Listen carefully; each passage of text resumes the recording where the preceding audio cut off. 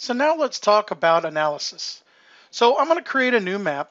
So I'm going to go over here and select create new map and I'm going to pick the Denver area again. And I spoke just a little bit a second ago about the rail stations in Denver and doing a walkability study. I'll go back up here to stations and I'll hit the plus sign. Now this one went ahead and populated. So I've got all of the rail stations that are here in the Denver area for their light rail. Right, and I can hover over or pick that particular station and there's all the information that we have on each one of the stations.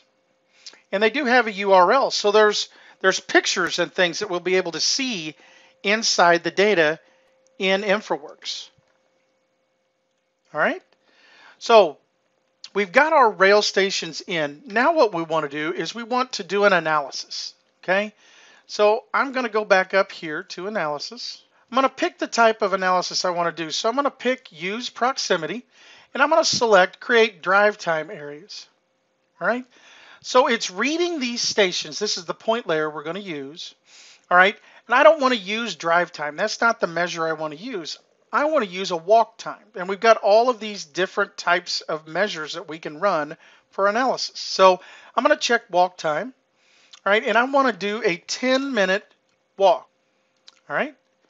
We hit run analysis and the analysis will run and we wait for it to give us the result.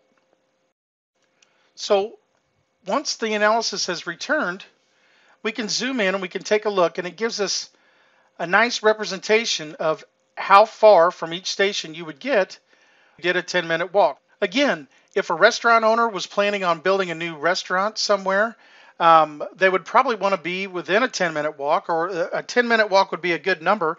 Or if you're the restaurant owner, hey, I need to build a restaurant in this particular area, say right here.